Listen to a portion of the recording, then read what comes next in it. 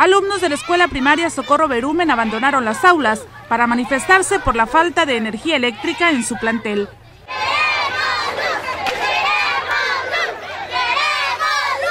Desde las 7 de la mañana y al son de Queremos Luz, los estudiantes acompañados de sus padres bloquearon la calle sin nombre de la colonia Solidaridad para solicitar una pronta respuesta a su problema. Que nos pongan luz, no tenemos luz y no hay clase para los niños, para que venga la secretaría o los que quieran venir. La falta de luz la tienen desde el pasado viernes, situación por la cual los niños se ven obligados a concluir su horario escolar a las 10 de la mañana. Es que nosotros no podemos hacer las clases y nos hace muy batalloso. Es que no hay agua ni luz. ¿y?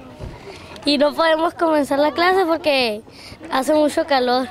Por su parte, el director del plantel manifiesta que el problema se derivó de un cortocircuito, del cual ya fueron informadas las autoridades educativas. Vinieron a hacer el, levantamiento de, los daños que, había causado eh, el, corto.